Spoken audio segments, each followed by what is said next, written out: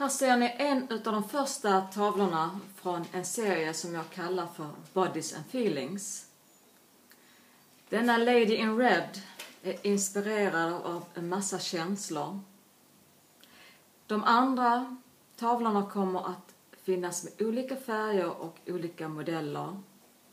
Så detta är den första i en samling av fem tavlor som kommer finnas på min utställning på ett galleri i Gamla stan nästa år, 2016. Fler tavlor kommer att synas med mina kvinnokroppar. Så titta vidare.